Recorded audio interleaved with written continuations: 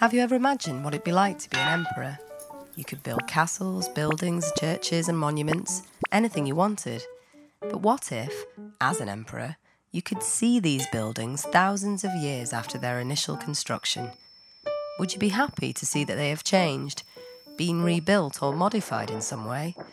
Perhaps not, but this is what happened to our dear friend Empress Galla Placidia. Nobilissima was born in 392 AD in Constantinople.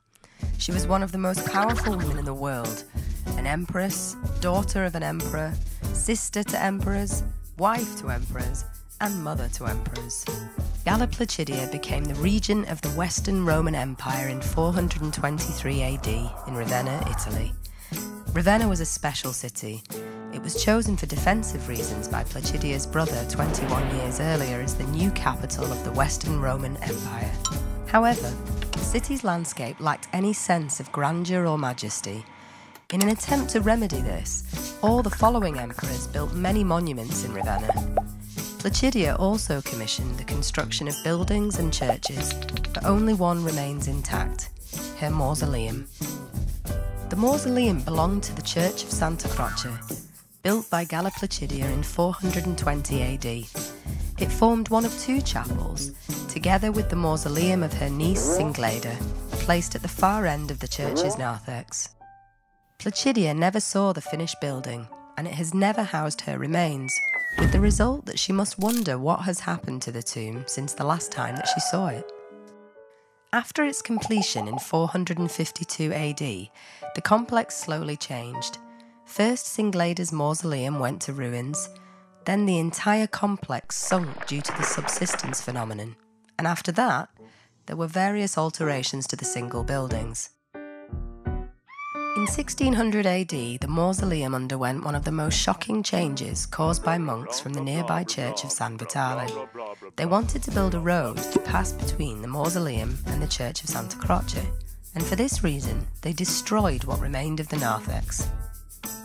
The monks then pulled back the front of the church by 11 metres and incorporated Placidia's mausoleum within their own monastery, separating it from the street with a wall. On their new mausoleum, the monks then removed the Roman lintel above the original door, created another door, built a lumber store, and finally, because they didn't like the way the brick looked, decided to paint over it all. Towards the end of 1600 AD, the first travellers, the grand tourists, started to visit Ravenna. The mausoleum, transformed and derelict as it was, full of weeds, snakes, and often flooded, was the destination of many travellers. However, they were not put off by the poor condition the mausoleum was left in.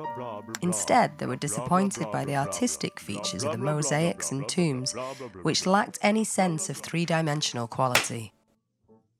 Luckily, the mausoleum did not undergo any substantial change until 1800 AD.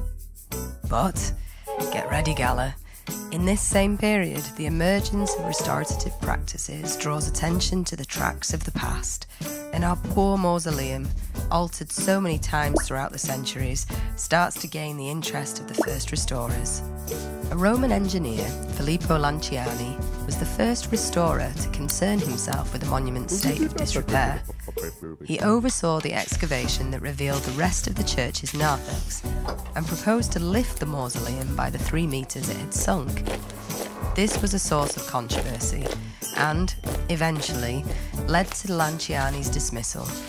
Following his return to Rome, his place was taken by the engineer Ranuzzi.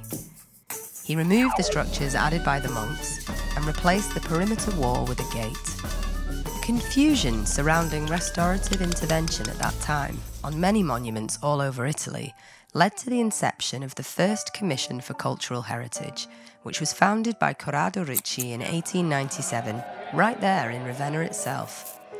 Ricci tried to give back the authentic image of the mausoleum to the visitors, filling any gaps on the monument's exterior, for example, reinserting the Roman frieze. However, he did remove the altar added in 1706 and added some new decorative elements, like alabaster glass to the windows and yellow marble to the interior walls. The mausoleum's appearance has remained largely the same in recent years, But as we have seen, it has changed significantly since its initial conception. Everything has a history. The ability to read the historical layers belonging to works allows us to travel through time, and we cannot pretend that such monuments are preserved in glass cases from creation to present. While Galla Placidia may never see the mausoleum as it is today, finally it has been completed like she wanted. It has managed to live a life of its own, developing, changing, and preserving itself so that it could reach us like a wonderful jewel from one of her many crowns.